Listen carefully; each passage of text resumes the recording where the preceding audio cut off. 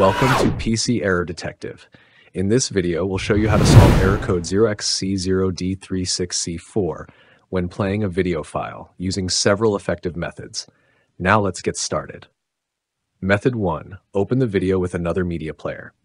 Step 1. Download VLC Media Player from its official website and install it on your computer. It's a reliable player that supports many video formats. Step 2. Right-click on the video file that's showing the error and select the option called Open With from the menu. Step 3.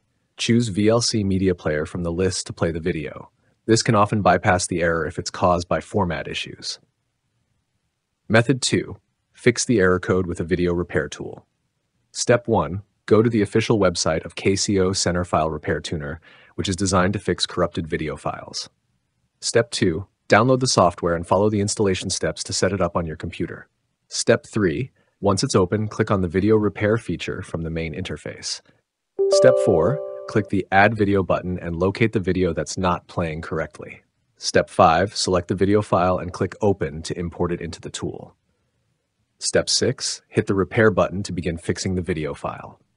Step 7. Once the repair process is complete, click Save to store the fixed video locally on your computer. Method 4. Update or uninstall USB key controllers or drivers. Step 1. Right-click on the Start menu and select Device Manager from the list.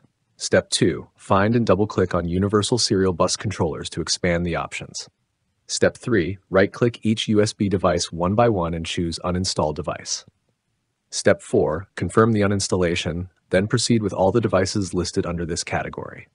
Step 5. Restart your computer. Windows will automatically reinstall the correct USB drivers, which may fix playback issues.